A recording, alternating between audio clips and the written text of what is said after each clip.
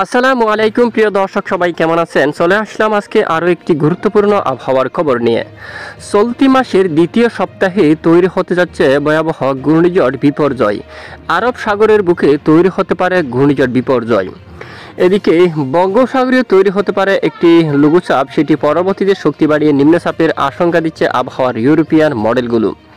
এখানে যেই ঘূর্ণিঝড়টি আগে তৈরি হবে, সেই ঘূর্ণিঝড়ের নামকরণ করা হবে ঘূর্ণিঝড় বিপর্যয়। তবে বঙ্গোপসাগরে ঘূর্ণিঝড় বিপর্যয় হবে বলে এখনও মনে করা হচ্ছে না, কারণ বিশ্বের সমস্ত মডেলগুলো এখনও পর্যন্ত একত্রিত হয়নি। তবে এখানে বঙ্গোপসাগরে মূলত মায়ানমারের কাছাকাছি অঞ্চলে একটি নিম্নচাপ তৈরি হওয়ার আশঙ্কা প্রবল আকারে রয়েছে। সেটি পরবর্তীতে কতটা শক্তি অর্জন করতে পারে, ঘূর্ণিঝড় হবে কিনা এখনও পর্যন্ত বলা নিশ্চিত না, বা আবহাওয়া অধিদপ্তর থেকে এখনও পর্যন্ত লেটেস্ট আপডেট উঠে আসেনি। যদি বাংলাদেশ আবহাওয়া অধিদপ্তর থেকে লেটেস্ট আপডেট উঠে আসে, আমরা সরাসরি আপনাদেরকে জানিয়ে দেওয়ার চেষ্টা করব। তবে একটি সিস্টেম তৈরি হওয়ার সম্ভাবনা দেখা যাচ্ছে, এটি পরবর্তীতে ধীরে ধীরে কিছুটা শক্তি বাড়িয়ে এখানে ঠিক উপকূলীয় মায়ানমার উপকূলীয় অঞ্চলে আঘাত আনার প্রবল সম্ভাবনা পরবর্তীতে এটি ধীরে ধীরে এখানে বাংলাদেশের দক্ষিণাঞ্চলে কিন্তু আঘাত করার সম্ভাবনা রয়েছে। তবে এখনও পর্যন্ত নিশ্চিতভাবে বলা কিন্তু সম্ভব না পরবর্তীতে বোঝা যাবে। তো এই মুহূর্তে আমরা সরাসরি চলে যাব আপনাদেরকে অপগ্রহ অপগ্রহ চিত্রের মধ্যে। আমরা গতকালের পূর্বাস আপনাদেরকে জানিয়েছিলাম মায়ানমার এলাকায় প্রচণ্ড ঝড় বৃষ্টিপাত তৈরি হতে পারে। ঠিক আপনারা দেখতে পাচ্ছেন পূর্বাভাস দেওয়া অনুযায়ী মায়ানমারের বিভিন্ন অঞ্চল জুড়ে প্রচণ্ড ঝড় বৃষ্টিপাত শুরু হয়ে গেছে। এখান থেকে বৃষ্টিবাহী মেঘগুলো ধীরে ধীরে বাংলাদেশের দক্ষিণাঞ্চলে মূলত চট্টগ্রাম বিভাগের উপর প্রবেশ করতে দেখা যাচ্ছে। আজ সন্ধ্যা থেকে পরবর্তী সময়ের মধ্যে দেখা যাচ্ছে, এখানে ম্যাপটা বড় করে আমরা। টেকনাফের দিকে প্রচণ্ড আকার ঝড় বৃষ্টিপাতের সম্ভাবনা।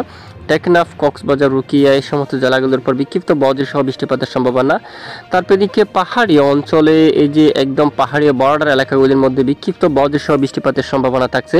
এদিকে থানচি, তারপর এখানে রয়েছে লামা আলী কদম এই অঞ্চলে। পরবর্তীতে এখানে দক্ষিণের আরও কক্সবাজার, পার্শ্ববর্তী বিভিন্ন অঞ্চল জুড়ে বিক্ষিপ্ত আকার বজ্র সহ বৃষ্টিপাতের সম্ভাবনা রয়েছে।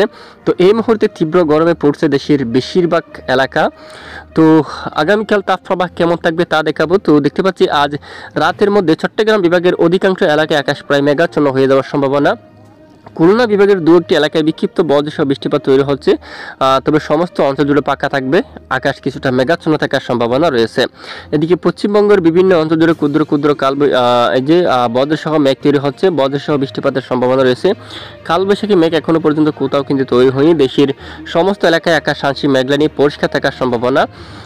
এই মুহূর্তে দেশের উপর তেমন বৃষ্টিপাতযুক্ত পরিবেশ কিন্তু নেই। দেশের দক্ষিণাঞ্চলে কিছুটা বৃষ্টিপাতযুক্ত পরিবেশ তৈরি হতে দেখা যাচ্ছে।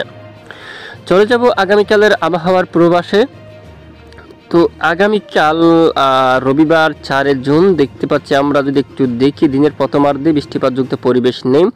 দুপুর পর থেকে বিকেল নাগাদ ঠিক আজকের মতো আবারও ক্ষুদ্র ক্ষুদ্র মেঘ তৈরি হতে পারে। এছাড়া মায়ানমার উপকূলীয় অঞ্চল আজকের মতো আবারও বিক্ষিপ্ত আকারে বজ্রসহ বৃষ্টিপাতের সম্ভাবনা থাকবে।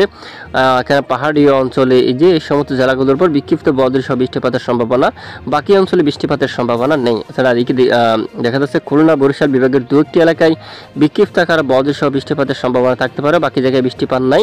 এছাড়া সিলেট অথবা ময়মনসিংহ বিভাগের দু একটি এলাকায় ক্ষুদ্র ক্ষুদ্র আকারে বিক্ষিপ্ত বজ্রসহ বৃষ্টিপাতের সম্ভাবনা। দেশের প্রায় নব্বই শতাংশ এলাকায় বৃষ্টিপাতের সম্ভাবনা নেই, মাত্র দশ পার্সেন্ট এলাকায় বিক্ষিপ্ত বজ্রসহ বৃষ্টিপাতের সম্ভাবনা দেখা যাচ্ছে। সিলেট বিভাগের কিছু এলাকায় বিক্ষিপ্ত আকার বজ্রসহ বৃষ্টিপাতের সম্ভাবনা দেখা যাচ্ছে, বাকি অঞ্চলে বৃষ্টিপাতের কোনো ধরনের দেখা নেই। এই মুহূর্তে আমরা সরাসরি আপনাদেরকে তাপমাত্রা মোড় নিয়ে যাচ্ছি। এই মুহূর্তে দেশের বেশিরভাগ এলাকায় তীব্র গরম অনুভব হচ্ছে, প্রচণ্ড ব্যবসা গরম অনুভব হচ্ছে, তীব্র তাপপ্রবাহ বয়ে যাচ্ছে। দেশের অনেক জেলায়।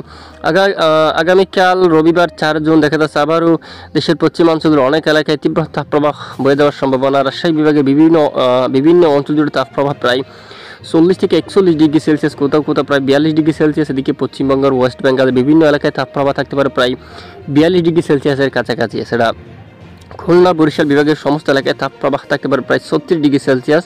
ঢাকাতে প্রায় আটত্রিশ ডিগ্রি সেলসিয়াস তাপমাত্রা অনুভব হতে পারে। প্রায় এই যে মাঝারি তাপপ্রবাহ অনুভব হবে। কুমিল্লা এবং চট্টগ্রাম বিভাগের বিভিন্ন অঞ্চল জুড়ে তাপমাত্রা ছত্রিশ ডিগ্রি সেলসিয়াস দেখা যাচ্ছে তবে উপকূলীয় অঞ্চলের তাপপ্রবাহ কিছুটা কম। বত্রিশ থেকে তেত্রিশ ডিগ্রি সেলসিয়াস উপকূলীয় অঞ্চলে তাপমাত্রা থাকার সম্ভাবনা রয়েছে। রংপুর বিভাগের উপর তাপমাত্রা থাকতে পারে প্রায় ছত্রিশ থেকে সাতত্রিশ ডিগ্রি সেলসিয়াস পর্যন্ত। এই মুহূর্তে বঙ্গোসাগর পরিস্থিতি একটু আমরা দেখিনি। এই মুহূর্তে বঙ্গোসাগর নিরাপদ, এখনও পর্যন্ত উত্তাল হয়ে ওঠেনি। তবে পরবর্তী মূলত এই মাসের দ্বিতীয় সপ্তাহে উত্তাল হয়ে ওঠার সম্ভাবনা রয়েছে, কারণ একটি নিম্নচাপ সৃষ্টি হওয়ার আশঙ্কা দেখা যাচ্ছে।